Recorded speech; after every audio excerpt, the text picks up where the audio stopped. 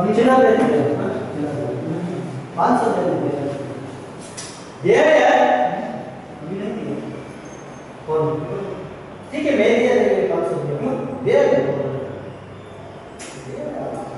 यार? दो घंटा काम करके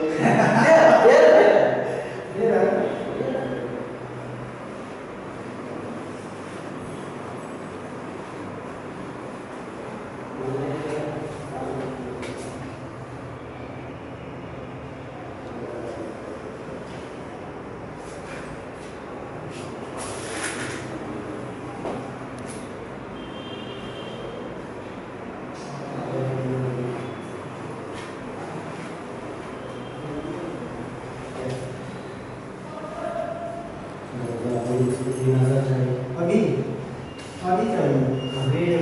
ठीक है जो कौन सी पार्टी तो चिल्ला करेंगे क्या चला रहे हाँ? हज़ार